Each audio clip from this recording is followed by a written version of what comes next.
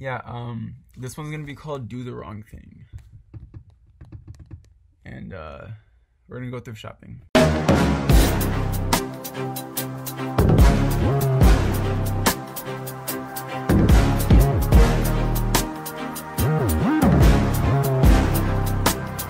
Okay, so I have a working thesis. Um, it's kind of interesting. It's about how we do the right thing just because we're supposed to. Uh, it's nothing new at all, like at all. Um, but I think it's interesting nonetheless. I, I think it's it's it's very interesting how a lot of times we try to do the right thing or we have this ego and we're just like, oh yeah, like no, we're we're doing the right thing, and we kind of jump to that conclusion and don't even realize all the harm that we're causing because we're not even self-aware enough to kind of look back and realize oh shit we're, we're not actually doing the right thing. That's come from a lot of personal reflections. So i don't know if it's for everybody i'm saying you but i'm really just talking about my experience and what i've kind of been able to observe. Ultimately the point i'm trying to make is that doing the quote unquote right thing for the wrong reasons like Chidi said, isn't actually doing the right thing at all.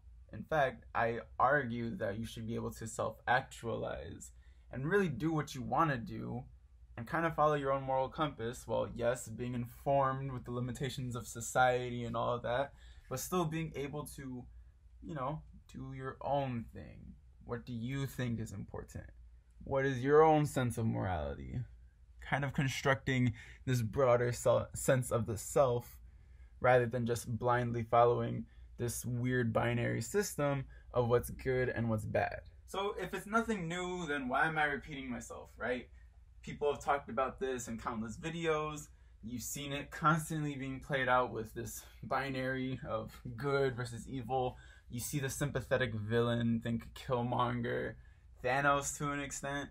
Um, uh, Vulture. I don't know. I'm just thinking about Marvel movies. I'm a nerd, so that's kind of my drift. Anyway, if it's nothing new, then why am I talking about redefining our sense of morality and, and self determination and and good and bad and objective good and bad? Why bring it up in the first place? Well, I'm glad you asked. I don't know. I'm kind of hoping that, you know, I'm not trying to reinvent the wheel here, but if I could bring in a little bit more, a little bit more of my own perspective into this kind of thing, a classic conversation with a little bit of a twist. I'm hoping that this can provide just a just a small, small, small amount of context uh, in this everlasting debate. So, why is morality important? Why is it important to have these questions? Why is it important to break apart? What we learn from society and, and all these different things. Yeah, I'm still trying to figure that part out myself. I, I think it's just important to self reflect. I don't know. Think for yourself a little bit.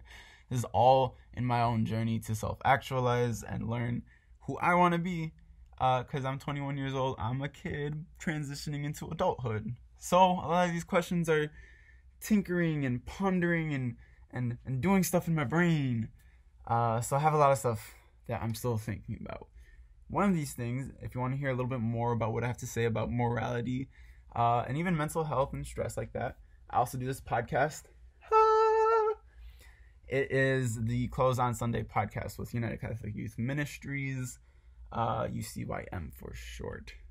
In this podcast episode, we we talked a little bit about um, kind of why we have these stressors in life. And a lot of the things that I said and a lot of the arguments I made was that we develop a weird relationship with stress based on this punishment system that we learn through religion, through culture, through society, and this idea of punishment and the negative affiliations with with messing up, doing the wrong thing can put a lot of pressure on the individual and reshape and restructure their brain to where they think that, oh, if I do the wrong thing, I'm going to get punished for it. I shouldn't do that. And then our sense of morality kind of gets skewed because once we grow up and we realize there's no punishing force for these little things that we're doing, right? Think school, think getting an F on an assignment, think about growing into college or growing into the workplace it's a lot more consequence oriented when you talk about, oh, if I don't do this, XYZ is going to happen, and I need to take self accountability for my actions so I can determine the consequences for those actions.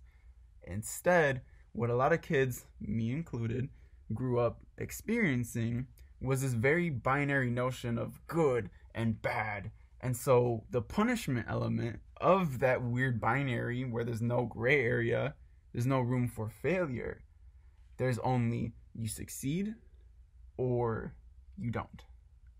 And so I think within that binary structure, and I talked about it a lot, it can cause a lot of mental health things, bad associations with stress.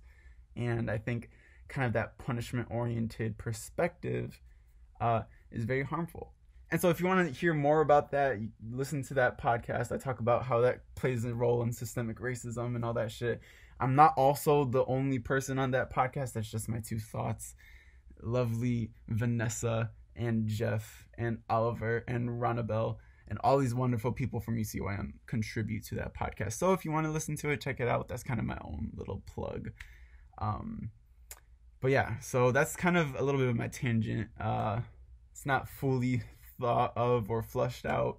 I wanted to do a little bit more of a vlog style video for today.